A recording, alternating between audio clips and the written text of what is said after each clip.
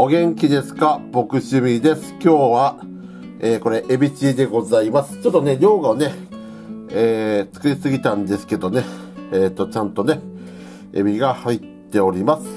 まあ、麺よりもね、あの、玉ねぎの方がね、ちょっとね、えー、多すぎてね、ちょっとね、バランスをね、えっ、と、配分は間違えたんですけどね。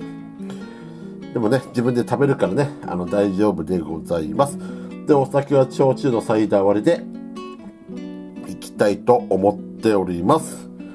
で、えー、分かってるとですね、皆様ですね、えー、あとですね、2日でね、えー、終わりましてね。で、その、あさってにはね、あの、新年を迎えるっていうことになっておりますけどね、えー、私もですね、明日でね、仕事納めでございます。まあ一年間ね、まあ嫌なこともありましたよ。まあ YouTube もそうだし、あの仕事もそうですけどね。あの、なかなかですね、あの、私はあの父親と住んでますからね。まあね、違った感じでね、楽しかったこともあればね、えー、辛いこともありましてね。まあ今年、あの、来年の方法はですね、えー、つまりですね、あの、できる限りでね、あの、まあ、40過ぎてますけど、事実のこともね、えっ、ー、と、考えております。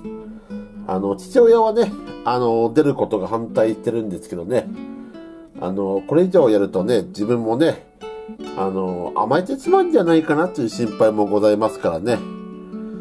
あの、まあ、ちょっと余計なお世話かもしれませんけどね、まあ、うん、っていう感じでございます。まあ、YouTube もね、あの、父もね、えー、私のパソコンは父から借りてやってるんですけどね、そろそろね、えっ、ー、と、自分のマイパソコンもね、えっ、ー、と、欲しいなってところでございますのでね、そういった感じでね、あの、やっていきたいと思っております。で、皆さんのね、えっ、と、新年の抱負は何でしょうか？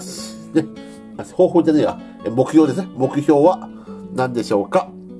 ね、あの、話せる範囲の方だったらね、えー、ね、あの、コメントにも書いてください。よろしくお願いいたします。以上でございます。本日もご視聴ありがとうございました。